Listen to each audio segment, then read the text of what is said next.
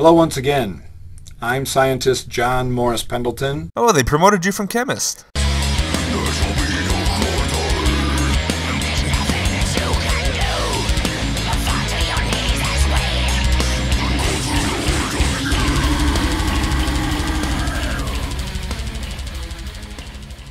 We're now beginning a series of three exciting conferences about dinosaurs.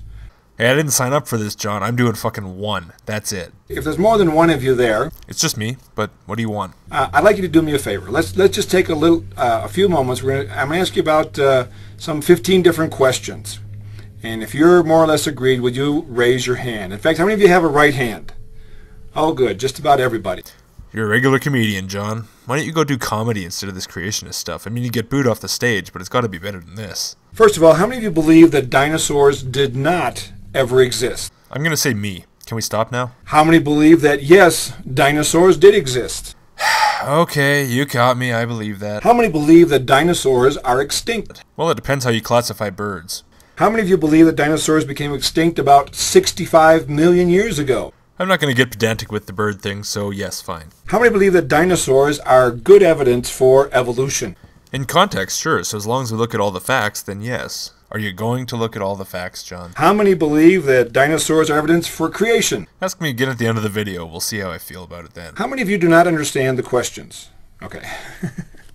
Stick to the pseudoscience, Jerry Seinfeld. How many believe that humans did not live at the same time with dinosaurs? That the humans lived with dinosaurs at the same time as what? I think you accidentally the whole sentence. How many believe that humans did live at the same time with dinosaurs? With dinosaurs at the same time as what? How many believe that dinosaurs are from the devil? Christ on a cock, man. Where did that come from? Does this have anything to do with your video, or are you just getting sidetracked? How many believe that the Bible does not talk about dinosaurs? Pretty sure. How many believe that Noah did not take dinosaurs with him on the ark? Are we allowed to believe that Noah didn't take anything on the ark because it never existed?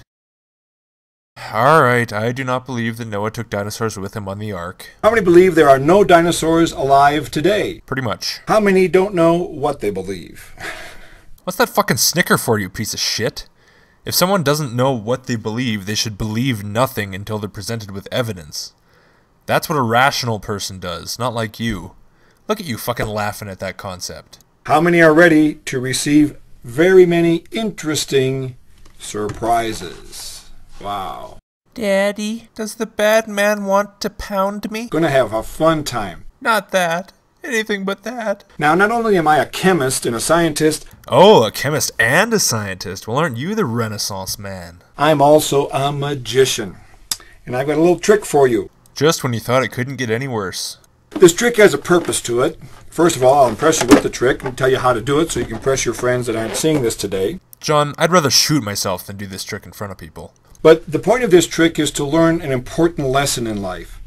Many times in life we receive or don't receive new information based on our previous experiences, and that's basically normal. But many times there's going to come new information thoroughly different from what we're used to hearing, what we come to believe that is really the right answer, is helpful information. And if you don't have an open mind to receive new beneficial information, you're going to lose out on a lot. Uh-huh. Now, in the case of this balloon and this sewing needle, we have the custom that the two don't mix. I know, you're gonna put the needle through the thick part of the balloon at the bottom, and it's not gonna pop because it's not stretched. I mean, anyone could figure that out without even thinking about it. Yeah, huh? Fine, have it your way, but I'm not watching your trick. I'm going to share a number of things about dinosaurs that you are already convinced that you think you know all of the facts. I'm going to bring forth evidence and information very different, but it's going to be helpful. It's going to be beneficial. For me, I see dinosaurs every place. For example, here's two of them fighting on the cover of a boys magazine. You heard it from the man himself. Chemist scientist John Morris Pendleton reads Boy's Life. The Sinclair Company, a Hershey's chocolate bar. A couple years ago, I was in the United States, went to the post office to buy some postal stamps. They gave me a whole sheet full of dinosaur stamps. A bit ago, I was in Panama. Guess what? Down there, they're eating chicken nougat sarios. Then I went to my hometown of Zacatecas, went to a supermarket there, and Campbell's has even come out with a form of dinosaur soup. John, you seem to be implying that you took photos of these products when you were in these places. Now, I really hope that you're just making that up, because the alternative is either that you take pictures of every product you see, or at the very least, write them all down so you can Google them later. Of course, what else would I expect from someone who reads Boy's Life? So like I say, dinosaurs are every place. Dinosaurs are on several products designed to appeal to children. Mind you, by the way, when you talk about dinosaurs to your friends, say, do you know who made the, na- made the name dinosaur? It was a creation scientist, a scientist who believed in the creation of God. Therefore, God created the universe. QED, atheists. Yes, dinosaurs did exist. Frankly, John, I am shocked to hear you admit that. Uh, here's a dinosaur claw, and here's a fossilized, um, uh, well, that other thing of dinosaurs. I believe the technical term is shit brick. Everybody poops, John. Now, if in your family you have uh, a young child, a boy or girl, we've got a real novel idea to make bath time a whole lot more fun. No, please, no. Just go find a dinosaur footprint about this big, put some water in it, and they can have a fun time taking a bath in a dinosaur footprint. Yeah, John. That'd really get him clean. When he stepped in there, it wasn't stone. It was mud or dirt. Later it became petrified. Petrification only happens to organic material, you fuckwit. That footprint would be referred to as fossilized, not petrified. This is the largest claw they ever found. It measures about 56 centimeters long, and uh, it, they found just the claw and the arm, nothing more than that. They gave it the name the dinosaur of the sai. Do you know what a sai is? That's it's a, it's a curved blade that uh, people use in the fields to cut grains and grasses. Sai do not have curved blades, nor are they used in the field. Scythes have curved blades and are used in the field. Now, the thing I'm going to share with you next is some very important information about dinosaurs that you need to pay very close attention because it answers all kinds of questions, clears up a whole bunch of doubts. Of all the creatures that God has ever made, dinosaurs are amongst, reptiles are amongst the few that never stop growing. The longer they live, the bigger they get. I've heard this argument before, and I have two things to say about it. The first would be that reptiles' growth slows dramatically as they age. The second would be that snakes are exceptional for their continued growth throughout their lifespan.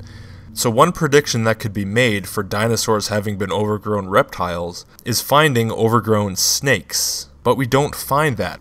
We don't find one or two hundred foot long snakes. Sure, we find large snakes, larger than modern anacondas, but because snakes continue to grow constantly, and you're saying that a simple lizard can grow into the size of a Tyrannosaurus rex, I would expect to find some two or three hundred foot long snakes. If you can find me Pythonosaurus rex, I'll become a creationist. Now, what is our authority?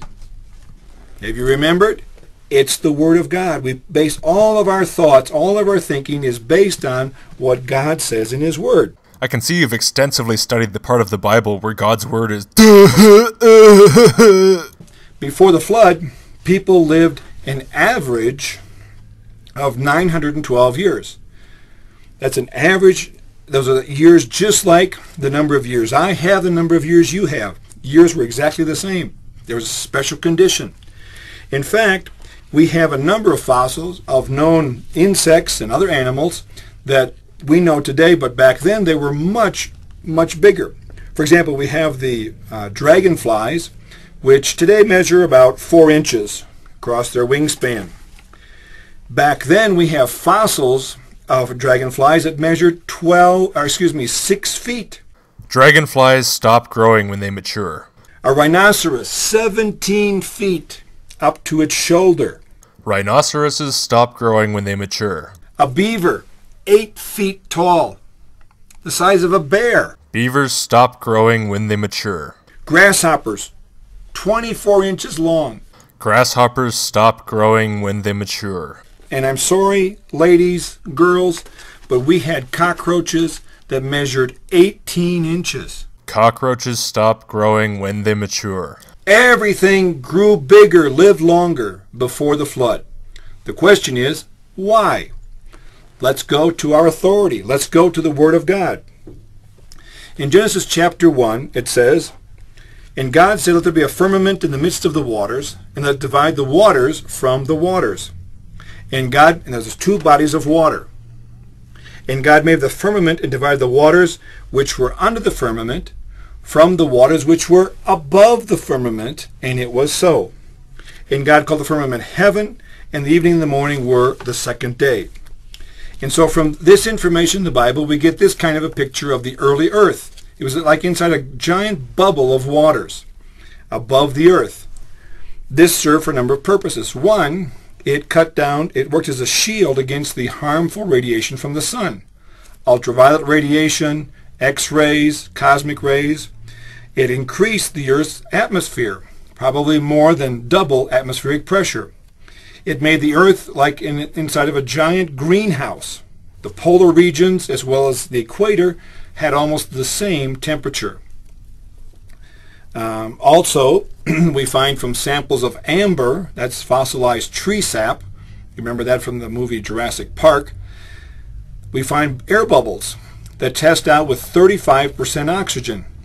Now, oxygen is one of the naturally occurring elements that is one of the best antibodies that we have.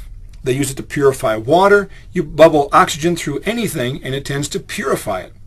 And so uh, just everything would live longer, grow bigger. The average size of a species is genetically controlled, John. It's not controlled by the amount of oxygen in the atmosphere. The amount of oxygen in the atmosphere affects a species' evolution, but it doesn't determine the size of an organism over its lifespan. Disease can stunt an organism, but lack of disease is not going to cause an organism to grow to monstrous proportions. Nutrition will help an organism to grow larger, but an organism such as a beaver that only grows to a certain size and then stops growing when it reaches maturity is not going to grow to 8 feet tall just because it has a lot of oxygen. If you wanted to make up some bullshit to support your creationist hypothesis, you could have at least stuck to reptiles and not mentioned mammals and insects. Tyrannosaurus rex had teeth that were almost six inches long. How would this dinosaur have been described originally? Now, how many of you say as a herbivorous? Ate herbs. I believe the word you're looking for is herbivore, and the definition is ate plants. This is the big question. What did the dinosaurs eat? Here we have six different teeth patterns of six different bats. Can you tell me which of these bats eats uh, flower pollen? Which one uh, eats small mammals? Which one eats fish? Which one just drinks blood? Which one eats fruit? Can you tell? Insects. Can you tell by the shape of their teeth? Of course not.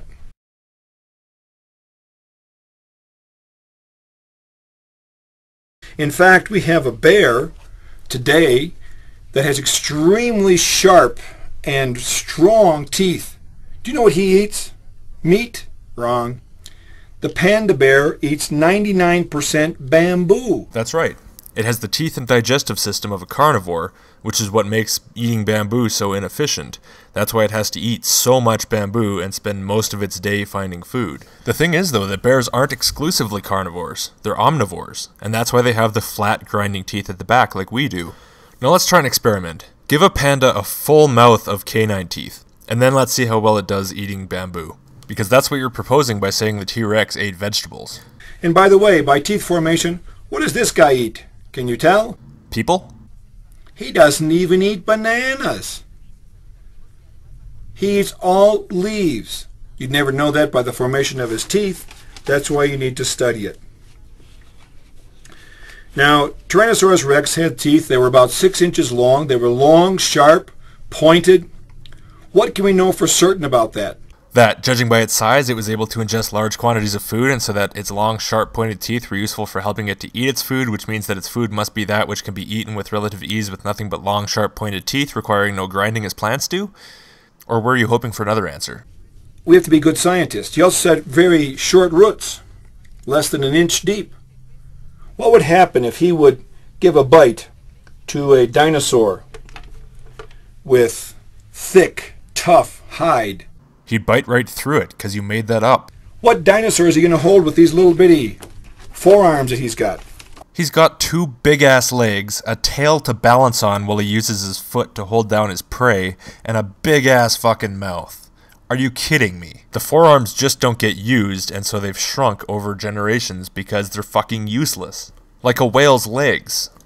In Genesis 1.30 it says, God says, And to every beast of the earth, and to every fowl of the air, and to everything that creeps upon the earth, in which is life, I have given every green herb for food, and it was so. Originally, he was herbivorous. We have to be good scientists. All of our thinking is based on what God says in his word. We have to be good scientists. All of our thinking is based on what God says in his word. That little lion had uh, uh, a bowl of milk and some raw eggs and cooked vegetables, cooked uh, oats, and some ground beef. Well, the little lion would eat of everything except the ground beef. The funny thing about this story is that I can't find anything about it anywhere other than creationist and vegan slash vegetarian websites. Now, you think something so remarkable as this which one of the websites even claimed is a scientific mystery that nobody has yet been able to figure out at all, primarily because cats apparently require taurine in their diets, which they claim is not present anywhere other than in meat. Would be of interest to someone without the ulterior motive of either converting everyone to vegetarianism or converting everyone to six day creationism. And apparently, this story originated from a book published by the Theosophical Publishing House, which was originally published by Via Taurus Ministries. Kind of funny that the group promoting this story is the group that's trying to convince everyone that lions used to eat vegetables. The book's name is Little Tyke, by the way, in case you want to look it up. And it shouldn't be a surprise because God in His Word says that one day the lion shall lie down with the lamb. He also says in Isaiah, the lion shall eat straw as does the bullock. Isaiah 65, 25. And so it perfectly fits with what God says in His Word. It sure does fit nicely, John. It's just too bad there's no documentation for it. And hell, if you're a crazy biblical literalist who wants to convince people that lions can eat vegetables, you can train a cat not to eat meat if you just beat it every time it comes near a piece of steak. Now, there's a display in the Cincinnati Zoo bird exhibit that says dinosaurs went extinct millions of years ago. Or did they? No, birds are essentially modern, short-tailed, feathered dinosaurs. What are they doing? They are Giving us a handy. Aw, yeah. brainwashing us. Well, that's not nearly as fun. Tell me about this new menace to society. Now, in 1998, National Geographic published this edition. Their lead story was Dinosaurs Take Wing, The Origin of Birds. Now, this picture on the cover is good artwork, but it is not science. Yes, I agree. Illustrations are not science. Did you actually read the words, or can you only read picture books? Inside we have here the evolution of a wing. Anybody seen that? No. It's just good drawing. It is not science. Again, was there any text, John? If National Geographic is too hard for you, you could always go back to Boy's Life. And of the many things in there, it was all based on this fossil that was exported illegally from China. They say the bottom part looks like a reptile or dinosaur, the top part looks like the beginning of wings and proto feathers. And so it was all based on one fossil. As they did a little bit further study after publishing their magazine, they found out that it was neither a bird or a dinosaur, rather it was a fraudosaurus. Yes, indeed they did, John. And who was it who found that out exactly?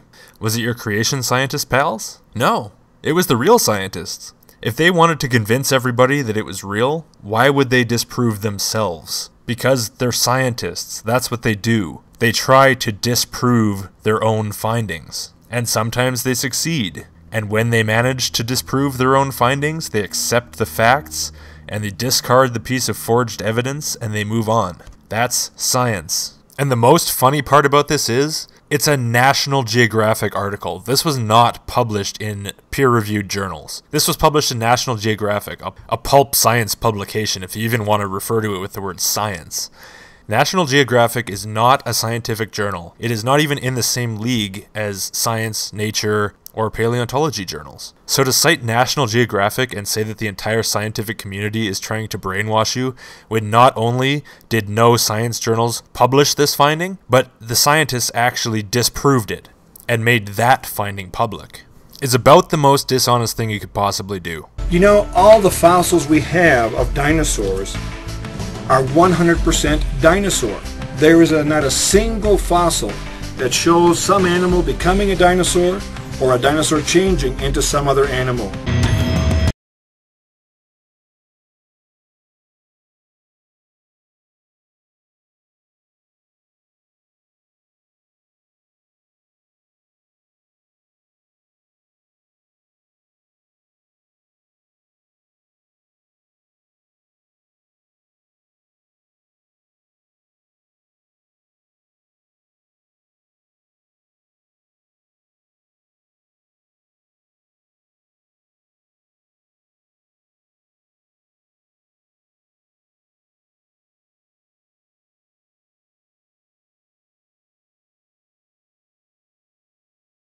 The Creator. God bless you, and we'll see you soon.